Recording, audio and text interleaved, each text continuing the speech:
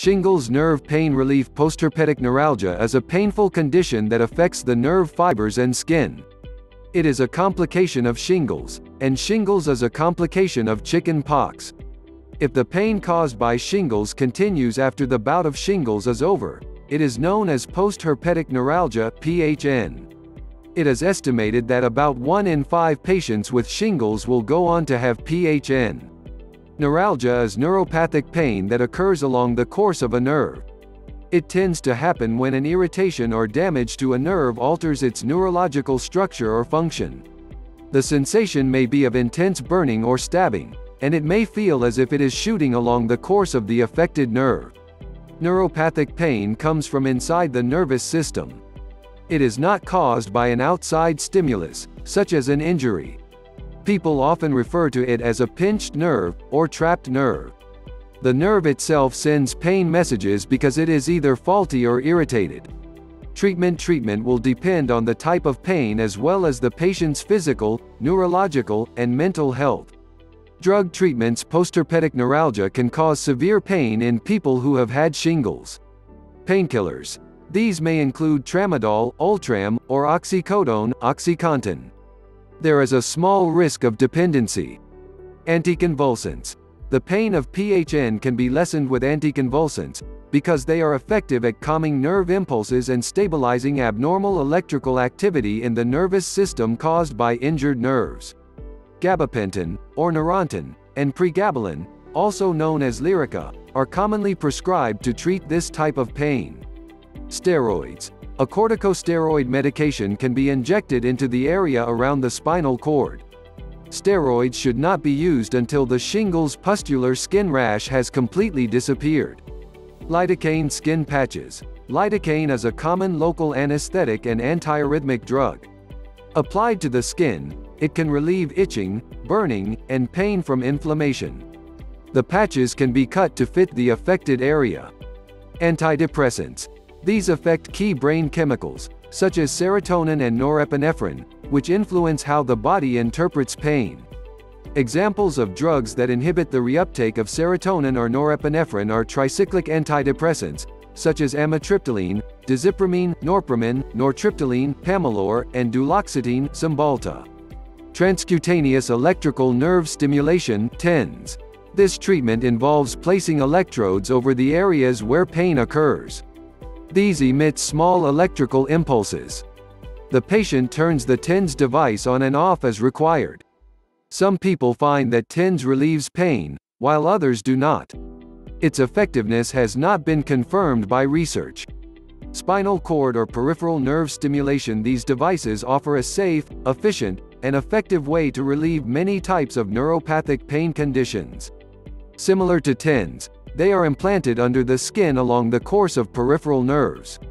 Before implantation, doctors do a trial run using a thin wire electrode to determine patient response.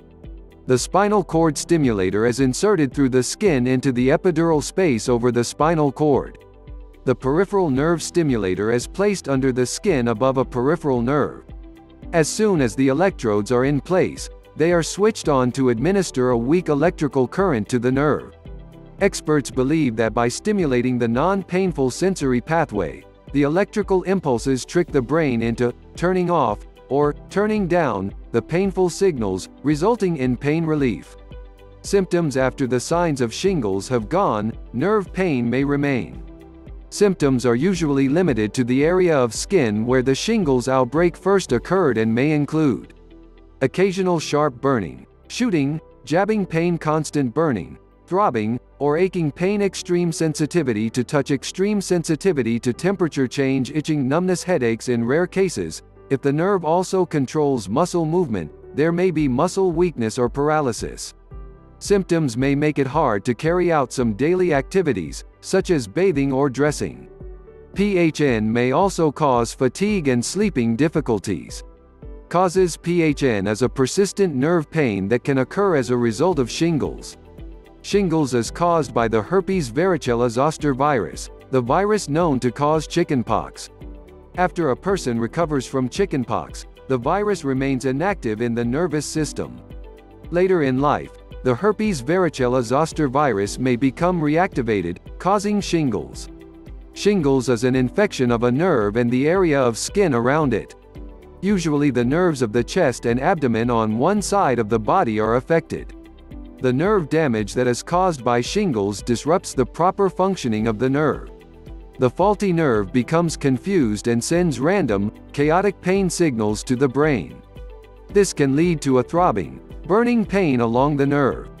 Experts believe that shingles causes scar tissue to form next to the nerves, creating pressure. This causes the nerves to send inaccurate signals, many of them pain signals, to the brain. It is unclear why some patients go on to develop PHN. Natural treatment A number of natural and alternative therapies have been recommended for PHN. These include vitamin C, but more research is needed to confirm this homeopathic treatment, but scientific research has not confirmed this acupuncture, which scientists are currently reviewing for effectiveness cupping herbal remedies wearing comfortable clothing made from cotton or silk using cool packs to soothe the pain treatments using traditional Chinese medicine will vary according to whether the PHN is a wet type, a heat type, or a wind type. Researchers are still investigating how effective some of these therapies may be. Diagnosis as PHN as a complication of shingles, it is generally easy to diagnose. If the symptoms persist after shingles, or if they appear after the symptoms of shingles have cleared up, then the patient might have PHN. Prevention Early treatment is key for preventing PHN. Seeking medical help as soon as signs or symptoms of shingles appear can greatly reduce the chances of developing neuralgia. Vaccination is recommended to prevent chickenpox and shingles. Aggressive treatment of shingles within two days of the rash appearing helps reduce both the risk of developing subsequent neuralgia and the length and severity if it does. The only effective way of preventing PHN from developing is to be protected from shingles and chicken pox through vaccination. The varicella vaccine protects against chickenpox, and varicella zoster vaccine against shingles. Chickenpox vaccine The Varivax vaccine is routinely given to children aged 12 to 18 months to prevent chickenpox. Experts recommend it also for adults and older children who have never had chickenpox. The vaccine does not provide total immunity, but it considerably reduces the risk of complications and severity if disease occurs. Shingles vaccine The Zostavax vaccine can help protect adults over 60 who have had chickenpox. It does not provide 100% immunity, but it does considerably reduce the risk of complications and severity of shingles. Experts recommend that people aged over 60 years should have this vaccine, regardless of whether or not they have had shingles before. The vaccine is preventive, and it is not used to treat people who are infected. The following people should not have the shingles vaccine. Those who have had a life-threatening reaction to gelatin, the antibiotic neomycin, or any other shingles vaccine component people who have a weakened immune system patients receiving steroids, and those who are undergoing radiotherapy, chemotherapy, or both those with a history of bone marrow or lymphatic cancer patients with active, untreated tuberculosis, TB, a person with a mild cold may take the vaccine, but not those who are moderately or severely ill. These people should wait until they are recovered.